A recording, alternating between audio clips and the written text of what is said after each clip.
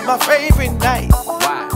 Cause it's late at night. Okay. It's grown and sexy Friday.